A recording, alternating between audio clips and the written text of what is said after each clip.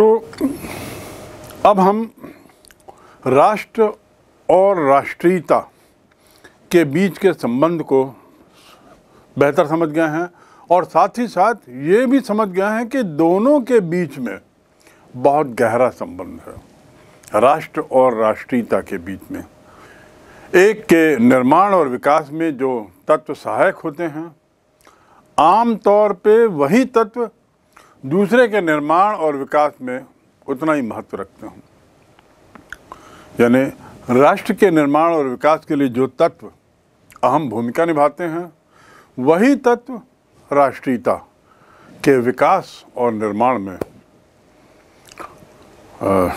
आवश्यक अंग बने रहते हैं। तो राष्ट्र और राष्ट्रीयता और इनके बीच का संबंध। ये तो बात स्पष्ट हो गई। लेकिन राष्ट्र और राज्य, इनके बीच में क्या संबंध है? और जब मैंने राज्य कहा तो साथ ही ये भी बताया कि राष्ट्र में भावनात्मक, राष्ट्र के साथ भावना जुड़ी रहती हैं, भावनाएँ रहती हैं। तो क्या प्रत्येक राष्ट्र एक राज्य है? एक सवाल उठता है। क्या प्रत्येक राज्य एक राष्ट्र है? दूसरे शब्दों में, क्या प्रत्येक राज्य भावनात्मक रूप से एकात्म है? भावनात्मक रूप से एकजुट है प्रत्येक राष्ट्र? गिलक्रिस्ट यहाँ पर अपनी बात रखते हैं। जिनका ज़िक्र मैंने पूर्व में इनकी परिभाषा के संबंध में किया है, उनका कहना है कि एक राष्ट्र जो है, वो राज्य और राष्ट्रीयता का योग है। राष्ट्र जो है, वो राज्य धन राष्ट्रीयता। इसका मतलब ये नहीं कि प्रत्येक राष्ट्र राज्य है। दोनों के बीच में कुछ अंतर है। प्रत्येक राज्य या प्रत्येक राष्ट्र एक राज्य हो, ये ज़रूरी नहीं। दोनों के बीच में कुछ अंतर ज़रूर है, और यदि हम अंतरों की बात करें तो देखिए एक के बाद एक, राज्य के लिए जनसंख्या, निश्चित भूभाग, सरकार और संप्रभुता, ये ज़रूरी है। राज्य के लिए पुनः दोहरा दें। एक निश्चित जनसंख्या निश्चित भूभाग, उसकी सरकार और संप्रभुता महत्वपूर्ण तत्व बनते हैं राज्य के लिए। ये अनिवार्य है। यदि एक राज्य की बात करें तो। लेकिन राष्ट्र के संबंध में कुछ और। राष्ट्र के संबंध में इन सब के अतिरिक्त कुछ और। और वो और कुछ और क्या है? जन समुदाय आदि के अलावा निश्चित तत्वों का वर्णन कर पाना संभव नहीं। राष्ट्र को बनाने से संबंधित तत्व बदलते रहते हैं। मैंने आपको सात तत्वों का ज़िक्र किया। हो सकता है किसी राष्ट्र के निर्माण में इनमें से कुछ तत्व उपस्थित ना हो, कुछ तत्व शामिल ना हो। और हो सकता है किसी अन्य राष्ट्र के निर्माण में एक या दो तत्वों ने ही भरपूर भूमिका निभाई हो राष्ट्र को बनाने में। यद्यपि राष्ट्र और राज्य दोनों का संबंध भूखंड से है, दोनों का संबंध जनसंख्या से है, दोनों का संबंध किसी न किसी भूखंड से ज़रूर है, फिर भी यहाँ हमें ध्यान रखना होगा कि राज्य का भूभाग सदैव पूरी तरह सुनिश्चित रहता है, राज्य का भूभाग। राज्य का भूभाग पूरी तरह सुनिश्चित रहता है, अर्थात एक राज्य की निश्चित सीमाएँ होती हैं। उसकी सीमा रेखा होती है एक राज्य की, लेकिन राष्ट्र के संबंध में ऐसा नहीं है। मैंने आपको उदाहरण दिया, पूर्वी जर्मनी, पश्चिमी जर्मनी। राष्ट्र के संबंध में ज़रूरी नहीं है कि राष्ट्र राज्य की चार दीवारी या राष्ट्र की, राज्य की सीमाओं के अंदर ही, अंदर तक निहित हो, नहीं। राष्ट्र जो है, वो राज्य की सीमाओं को पार कर जाता है। और हो सकता है वो कई राज्यों में फैला हुआ हो। पूरी संभावना हो। राष्ट्र जो है, वो राज्य की सीमाओं को पार करके कई राज्यों में फैला हो सकता है। उदाहरण के लिए हम फ्रांसीसी फ्रांसीसी क्रांति के आसपास की बात करें तो जो फ्रांस, जो राज्य है, फ्रांसीसी राष्ट्र और फ्रांसीसी राज्य तो हम पाएँगे कि फ्रांसीसी राष्ट्र फ्रांसीसी राज्य से बाहर तक गया हुआ है। मैं पुनः दोहरा दूँ, फ्रांसीसी राष्ट्र जो है वह फ्रांसीसी, फ्रांस राज्य की सीमाओं से भी बाहर है। अर्थात एक से ज़्यादा राज्यों में, वहाँ, एक से ज़्यादा राज्यों में रहने वाले लोग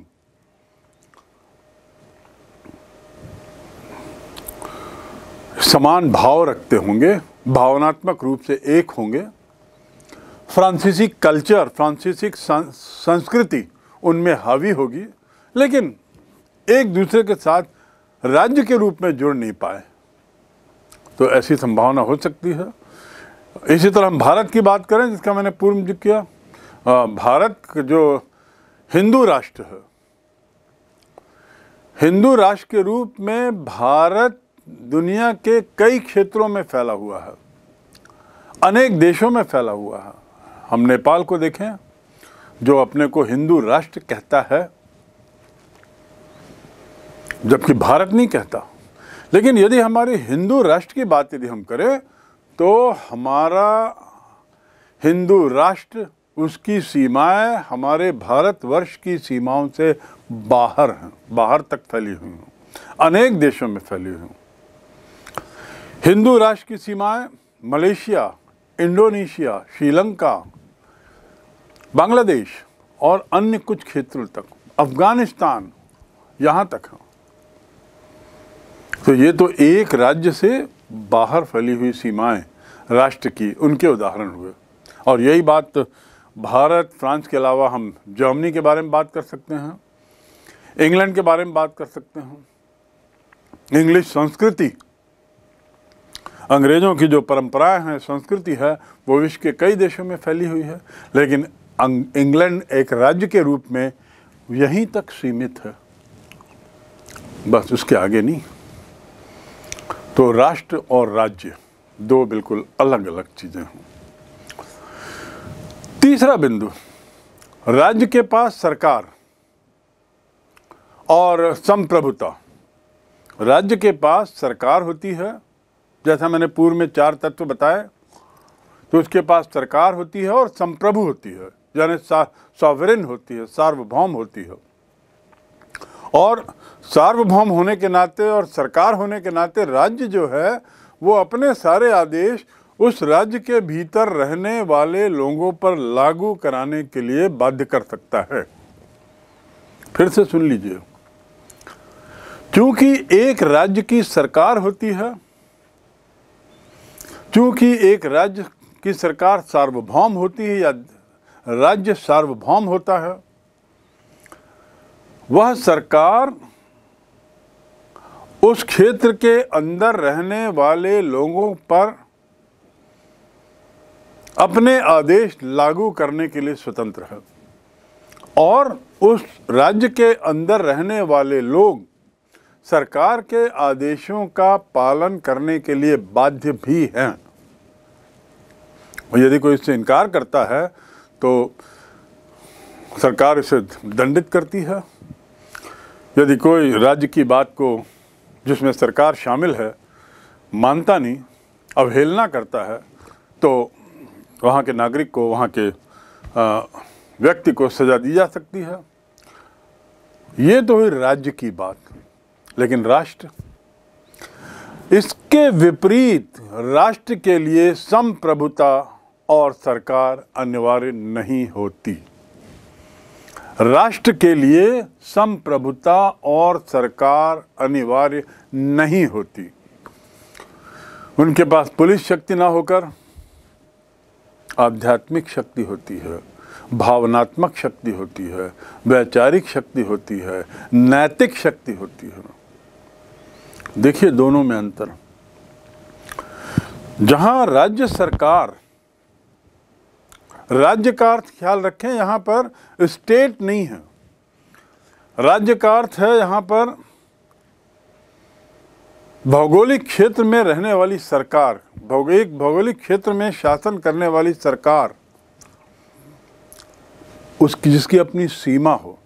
तो इस बात को पहले आप समझ लें कि मैं जिस राज्य की बात कर रहा हूँ, उस राज्य से हमारा तात्पर्य छत्तीसगढ़, मध्य प्रदेश, पंजाब राज्य से नहीं है। उससे हमारा तात्पर्य एक देश से है। उस देश की और उस देश में जिसमें सरकार हो, सार्वभौम हो, उसकी अपनी जनसंख्या हो और अपनी सीमा हो, वो एक राज्य कहलाता है। देश कहलाता है। तो देश के अंदर रहने वाले लोग यदि सरकार के नियमों का पालन ना करें, वो तो पालन के लिए बाध्य हैं। और यदि ना करें तो उसके लिए दंडित करने का अधिकार वहाँ की सरकार को है। लेकिन राष्ट्र के मामले में ऐसा नहीं है। राष्ट्र के मामले में ज़रूरी नहीं है कि सरकार और उसकी संप्रभुता, ये बात लागू हो, अनिवार्य नहीं है। सरकार के पास जहाँ राज्य के मामले में पुलिस की शक्ति है, जिसके बल पे वे सब काम कराती है, राष्ट्र के मामले में पुलिस शक्ति नहीं है।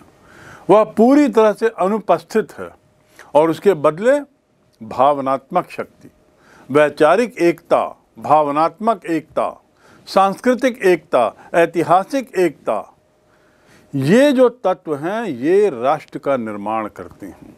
ये जो तत्व हैं वे तत्व राष्ट्र के निवासियों को भावनाओं और आदर्शों की एकता महसूस कराते हैं। तो इस बिंदु का आप बहुत ख्याल रखेंगे। मैं जिस राज्य की बात कर रहा हूँ, उसका अर्थ स्टेट से नहीं, बल्कि देश नेशन से है। राज्य और राष्ट्र के अंतर की यदि बात हो रही है तो राज्य में सरकार होती है, राज्य सार्वभौम होता है और राज्य में पुलिस शक्ति होती है, जबकि राष्ट्र में राष्ट्र में भावनात्मक एकता की ताकत, आध्यात्मिक एकता की ताकत होती है।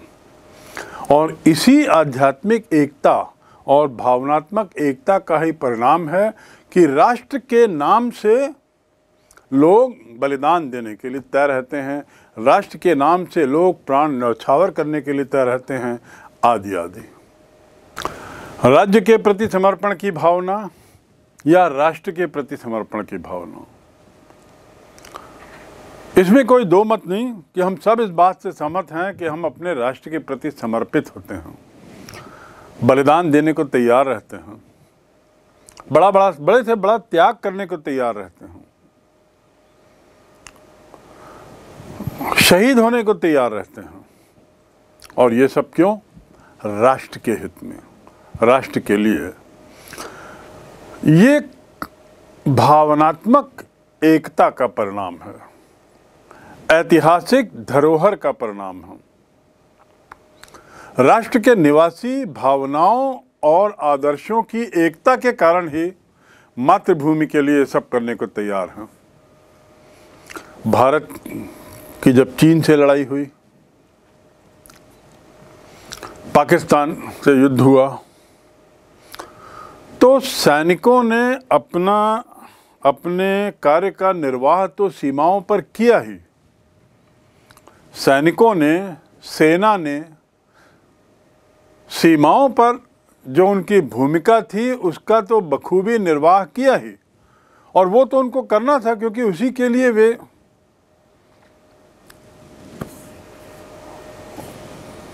वहाँ पे पोस्टेड थे।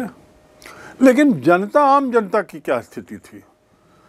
भारत चीन युद्ध का शायद आपको स्मरण नहीं होगा। लेकिन यदि हम भारत पाक युद्ध की बात करें, और तो और हम कारगिल की बात करें तो आपको स्मरण होगा कि पूरे देश के लोग, पूरे राष्ट्र के लोग तत्पर थे अपनी सीमाओं की रक्षा के लिए। इस बात के लिए तैयार थे कि यदि ज़रूरत पड़ी तो हम भी इन सैनिकों के पीछे सीमाओं पर जा सकते हैं। आखिर ऐसा क्यों? राष्ट्र की भावना। तो राष्ट्र और भावना, ये दोनों साथ साथ चलते हैं। इसीलिए लोगों में राज्य या सरकार के प्रति श्रद्धा नहीं रहती। सरकार किसी भी दल का हो, केंद्र में किसी भी दल की सरकार हो, हम यदि युद्ध के दौरान राष्ट्र के प्रति समर्पित होते हैं तो इस बात को भूल जाते हैं कि सरकार कौन सी है। और इसका मायने ये हुआ, हम इस बात को भूल जाते हैं कि राज्य की, राज्य से हमारा कोई सरोकार है। उस समय हमारा सरोकार राष्ट्र से होता है, जिसका भावनात्मक पहलू बहुत अहम है। राज्य या सरकार के प्रति हमारी कोई श्रद्धा नहीं रहती। हम ये नहीं पाएँगे कि जनमानस में जन समूह में सरकार के प्रति श्रद्धा के कारण हम अपना बलिदान करने को तैयार हैं। ये बात बल्कि हास्यास्पद लगेगी, यदि कोई ऐसा कहता है तो। हम ये जो बलिदान करने के लिए तैयार रहते हैं, ये राज्य के लिए नहीं, ये राष्ट्र के लिए होता है। और इस प्रकार अब आपको और ये स्पष्ट हो गया होगा कि राज्य और राष्ट्र में क्या अंतर है। इसके अलावा जब कभी कोई राज्य या कोई राज्य से मेरा मतलब देश है, याद रखेंगे, देश जिसमें सरकार शामिल है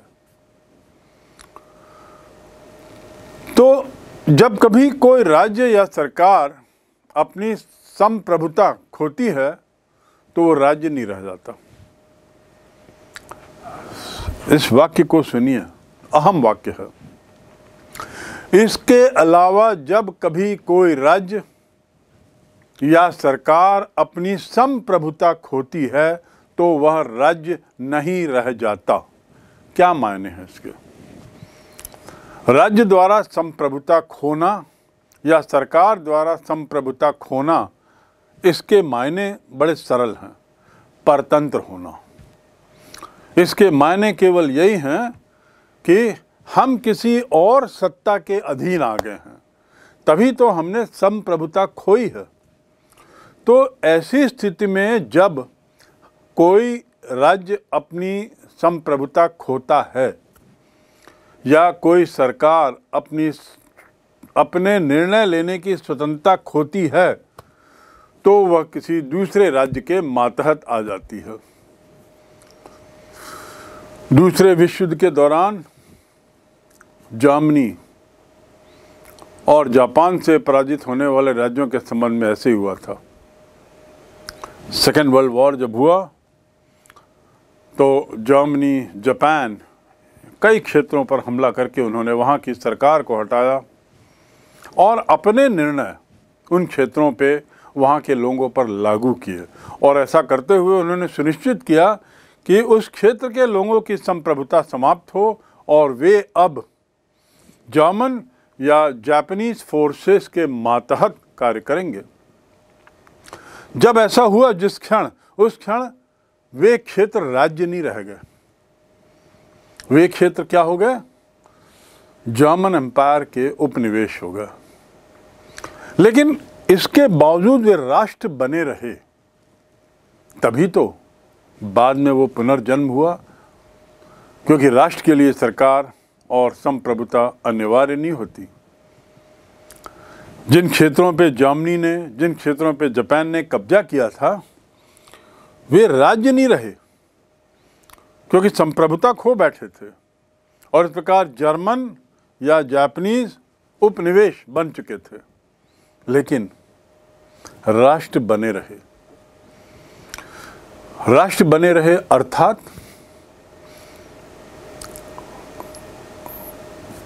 अर्थात जहाँ पर संप्रभुता या सरकार की बात ही नहीं आती। तो अस्तित्व उनका उस रूप में बना रहा, भावनात्मक रूप में बना रहा। और इसीलिए जैसे ही विश्व युद्ध खत्म होता है, समाप्त होता है, ये राष्ट्र जो हैं, ये राज्य जो पूर्व में जर्मनी और जापान द्वारा हड़प लिए गए थे, अपनी राष्ट्रीयता के कारण पुनर्जागृत होते हैं, सामने आते हैं, स्वतंत्र होते हैं नव निर्माण होता है। तो राष्ट्र और राज्य में अंतर और स्पष्ट हो गया होगा अब आपको। इसको समझने के लिए अंतिम बिंदु एक और जान लें कि राष्ट्र का आधार जो है, वो आध्यात्मिक चेतना संबंधी भावना से है। राष्ट्र का आधार, आध्यात्मिक चेतना संबंधी एकता की भावना से है। जर्मनी और जापान के द्वारा कब्जे में लिए गए ये राज्य, उसकी सरकारें तो हटा दी गईं। लेकिन जनता जो है, वो भावनात्मक रूप से एक थी। और इसीलिए विश्व युद्ध के बाद पुनर्स्थापित हो गई, पुनर्राज्य बन गए। और राज्य पुनः किस लिए बन सके? क्योंकि इनमें राष्ट्रीयता की भावना थी। तो इस प्रकार हम कह सकते हैं कि राष्ट्र का आधार जो होता है, वह आध्यात्मिक एकता, संबंधी भाव, भावना की उपस्थिति से उसका ताल्लुक है। और ये जो भावना है, इसे राज्य उत्पन्न नहीं कर सकता और न राज्य से खत्म कर सकता। और राज्य से अर्थात तात्पर्य सरकार से है। सरकार इसे राष्ट्र की भावना उत्पन्न नहीं कर सकती और ना ही उसे समाप्त करने की उसमें ताकत होती है। ये बहुत अंतिम अंतिम लेकिन अत्याधिक महत्वपूर्ण बिंदु है। राष्ट्र और राज्य के अंतर की यदि हम बात करें तो उसमें चौथा अहम बिंदु है कि कि राज्य एकता की भावना को उत्पन्न और समाप्त करने की ताकत नहीं रख सकती। दूसरी ओर, राज्य पूरी तरह से एक राजनैतिक व्यवस्था है। उसका भावना से, भावनात्मक विचारों से कोई ताल्लुकात नहीं है। राज्य का पूरा संबंध राजनीतिक व्यवस्था से अर्थात सरकार से है। जिसका कार्य है, उसके मातहत आने वाले समाज की आवश्यकताओं को पूर्त, पूरा करना, उनकी आवश्यकताओं को पूरा करते हुए उनकी इच्छाओं को मूर्त रूप देना और इस प्रकार जो जीवन स्तर है, उसमें सुधार लाना। भावनात्मक स्तर में नहीं, जीवन स्तर, भौतिकवादी स्तर में सुधार लाना। ये राज्य का कार्य होता है। ये राज्य की सरकार का कार्य होता है। इनका मनुष्य की भावनाओं से कोई ताल्लुकात नहीं। राष्ट्र के विषय में मनुष्य की भावनाओं से ताल्लुकात है, भौतिकवादी सुविधाओं से नहीं। राष्ट्र की जब बात होती है तो व्यक्ति यह कतई नहीं सोचता कि वह किन स्थितियों में है। अपना शौर्य और पराक्रम राष्ट्र के नाम पर दिखाने के लिए तैयार रहता है, बलिदान करने के लिए तैयार रहता है। जबकि राज्य के मामले में यदि हम बलिदान की अपेक्षा करें, यदि हम किसी तरह की शौर्य, किसी तरह की बहादुरी की अपेक्षा करें तो वो यथार्थ से परे हैं। तो इस प्रकार इस अंतिम बिंदु से हम अब अच्छी तरह समझ गए हैं कि राष्ट्र और राज्य में क्या अंतर है। जब राष्ट्र चार शर्तों को पूरा करता है तो राज्य बनता है। ये चार शर्तें क्या? जनसंख्या, भूक्षेत्र, सरकार और संप्रभुता। मैं पुनः दोहरा दूँ, इस प्रकार हम ये समझ गए हैं कि जब राष्ट्र निम्न चार शर्तों को पूरा करता है, तब वह राज्य बनता है। और वो चार शर्तें क्या हैं? जनसंख्या, भूभाग, सरकार और अंतिम संप्रभुता। राष्ट्र, राष्ट्रवाद, राज्य और राष्ट्रवाद की परिभाषा। ये सब तो हम समझ गए। और राष्ट्रवाद का परिचय अब आपको काफ़ी कुछ बेहतर तरीके से मिल गया होगा। जब हम राष्ट्रवाद की चर्चा करते हैं तो इस अध्ययन के पूर्व आप लोगों ने सोचा होगा कि राष्ट्रवाद और देशभक्ति एक ही है। आप लोगों ने सोचा होगा कि राष्ट्र और राज्य एक ही है।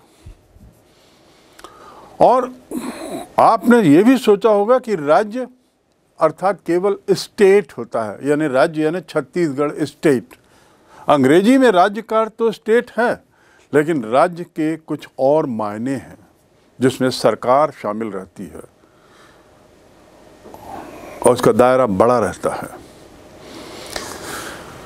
लेकिन साथ ही ये भी मानस पटल पे आपके गुजर रहा होगा कि फिर देशभक्ति और राष्ट्रवाद में क्या अंतर हुआ?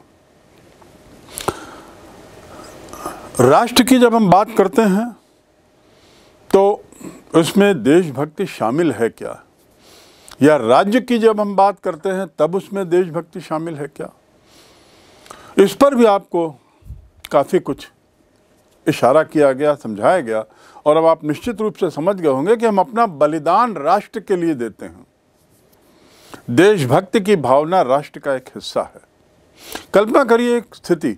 हम में से आप लोग खेल कूद में भाग लेते हैं और सौभाग्य मिला तो विदेशों में जाकर क्रिकेट खेलते हैं, फुटबॉल खेलते हैं। भारत की क्रिकेट टीम को ही लीजिए, जो वर्तमान में साउथ अफ्रीका में क्रिकेट खेल रही है। वहाँ भारतीय क्रिकेट की परफॉर्मेंस को देखने के लिए बहुत से भारतीय अमेरिका से अफ्रीका में रहने वाले, ऑस्ट्रेलिया में रहने वाले आदि आदि वहाँ पहुँचे हुए हैं। ये लोग किस भावना से वहाँ पहुँचे हैं और भारतीय टीम को चीयर अप कर रहे हैं, उसका उत्साहवर्धन कर रहे हैं? राष्ट्र की भावना। राज्य की भावना नहीं, राष्ट्र की भावना से। और राष्ट्र की भावना के तहत देशभक्ति की भावना मिली हुई है। राष्ट्र ध्वज जो है, वो राष्ट्र की मजबूती को प्रदर्शित करता है। दे राष्ट्र ध्वज जो है, वह राज्य के प्रतीक के रूप में राष्ट्रवाद या राष्ट्रभक्ति के प्रति हमें समर्पित करता है। देश के लिए बलिदान की भावना लाता है। गणतंत्र दिवस की परेड जो होती है वो आखिर क्यों होती है? उसके पीछे मकसद है राज्य के द्वारा किए गए विकास को प्रदर्शित करना और ऐसा प्रदर्शन करते हुए राष्ट्र के प्रति प्रेम बढ़ाना, राष्ट्र भावना लाना। किंतु राष्ट्र को सुस्पष्ट और उसकी एक सर्वमान्य परिभाषा देना अभी भी संभव नहीं हो पाया है। हमने विभिन्न दृष्टिकोणों की बात की। जिन दृष्टिकोणों से लेकर राजनीतिक विचारकों ने राष्ट्रवाद की परिभाषा देने की कोशिश की है और राष्ट्र की परिभाषा देने की कोशिश की है। तो राष्ट्रवाद अभी भी उतने स्पष्ट रूप से परिभाषित नहीं है जितना कि अन्य परिभाषाओं के साथ है। ये उतना आसान नहीं है। और जो कन्फ्यूज़न है, वो मूल रूप से राष्ट्र और देशभक्ति को लेकर है। तो आखिर देशभक्ति क्या है? पैट्रियाटिज्म एक शब्द है पैट्रियाटिज्म और दूसरा शब्द है नेशनलिज्म पैट्रियाटिज्म और नेशनलिज्म में क्या अंतर है? पैट्रियाटिक और नेशनलिस्ट इसके अंतर को हमें थोड़ा समझना होगा। नेशनलिज्म तो नेशन से बना है और नेशन का बहुत कुछ ताल्लुकात राष्ट्र से है, ये तो हमने जाना। पर फिर भी हम थोड़ा सा इसको और इसके अंतर को स्पष्ट करने की कोशिश करें।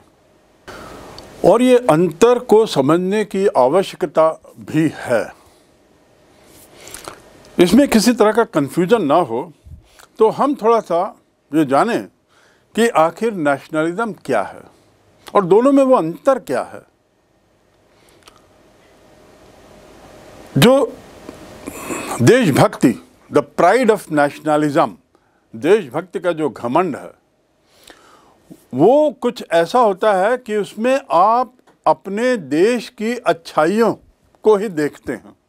याद रखें, देशभक्ति की जब बात करते हैं तो देशभक्त जो है, वो अपने देश की अच्छाइयों को ही ध्यान में रखता है।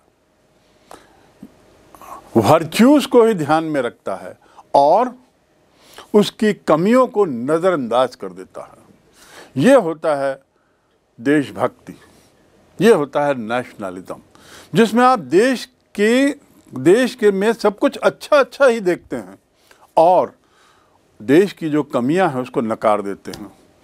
उसको ध्यान में नहीं रखते। राष्ट्रवाद जो है, जो जो देशभक्ति है, इसके एक कदम और आगे है। वह जो दूसरे देशों की अच्छाइयाँ हैं, उसको भी नज़रअंदाज कर देता है। देखिए, इस बात को समझने की कोशिश करें। देशभक्त जो है, वो अन्य देश की अच्छाइयों को, अन्य देश की वर्च्यूज़ को नज़रअंदाज करता है, उसको थोड़ा हीन दृष्टि से देखता है और ये बताने की कोशिश करता है कि हम सर्वश्रेष्ठ हैं। वी आर द ग्रेटेस्ट ये नेशनलिज्म में, ये भावना देशभक्ति में आती है। यदि सवाल ये पूछा जाए तो सवाल ये उठता है कि क्या ऐसा खुद के द्वारा जो ग्रेटनेस बताई जा रही है, अपनी महानता बताई जा रही है, वो क्या उचित है? क्या एक समझदार व्यक्ति को ऐसा करना चाहिए? ये सोचने की बात है। इसका उत्तर हम आगे देंगे कि यदि हम ऐसा करते हैं जिसमें दूसरे देश की अच्छाइयों को तिरस्कृत कर देते हैं, नज़रअंदाज कर देते हैं और अपने को सर्वश्रेष्ठ मानते हैं क्योंकि अपने देश की अच्छाइयों को रखते हैं और बुराइयों को नज़रअंदाज करते हैं तो ये कितना उचित है और इसके क्या परिणाम हैं? क्या दुष्परिणाम हैं? क्या अच्छे परिणाम हैं? इसको हम आगे पढ़ेंगे। राष्ट्रवाद जो है, वो भी अपने देश के प्रति एक अटैचमेंट है, एक मोह है, सम्मोहन है।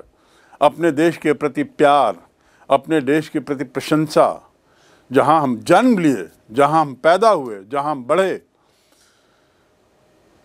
उसको इंगित करता है। ये जो अटैचमेंट है, ये अटैचमेंट हो सकता है वंश के कारण हो, जन्म के कारण हो, सांस्कृतिक भावनाओं के जोड़ के कारण हो, या राजनीतिक, ऐतिहासिक संबंध कुछ बने हुए हों, इसके कारण ये अटैचमेंट है। So it is an attachment जो पेट्रियाटिज़म है, उसमें भी आप अपने देश के प्रति घमंड रखते हैं प्राइड रखते हैं प्राउड होते हैं। लेकिन उसके साथ ही अपने देश की कमजोरियों को सुधारने का भी, सुधारने का भी सोच रखते हैं, जबकि देशभक्ति में ऐसा नहीं है। राष्ट्रवाद उसमें आप अपने देश की जहाँ एक और अच्छाइयों की बहुत प्रशंसा करते हैं, उसके प्रति घमंड रखते हैं, उसके प्रति गर्व रखते हैं। घमंड अर्थ है गर्व। पर साथ ही आप उसकी कमज़ोरियों को नहीं निकालते और कोशिश ये रहती है कि इन कमज़ोरियों में सुधार किया जाए। राष्ट्रवाद ये मानता है कि देश के लोगों में सुधार की ज़रूरत है, विकास की और ज़रूरत है। दूसरे देश की जो राष्ट्रभक्ति है पेट्रियाटिज्म है, उसकी भी वो इज़्ज़त करता हूँ और उसकी अच्छाइयों को भी देखता है। तो फिर दोनों में अंतर क्या हुआ? राष्ट्रवाद और देशभक्ति में अंतर क्या हुआ?